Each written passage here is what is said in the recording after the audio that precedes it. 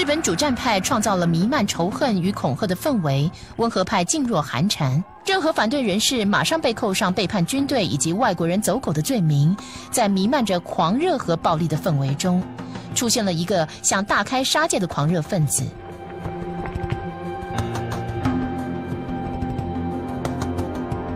这个火上加油的人，就是新任的陆军大臣荒木贞夫大将。他利用媒体。攻击仍然存在的国会制度。这支叫做“维邦”的宣传片，再三强调，现在不是享乐的时候。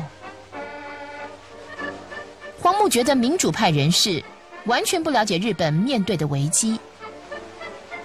这个小女孩象征了日本的重生。父母出去跳舞玩乐的时候，她都在努力工作。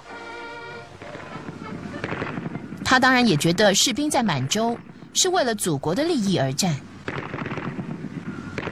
但满脑子西方思想而且不负责任的双亲，从夜总会回家时把他撞倒了。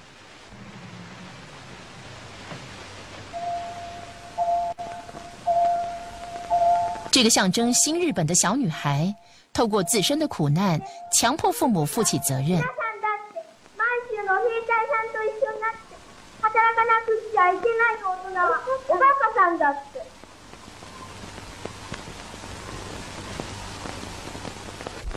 宣传片要一般民众屈从英勇军队的要求。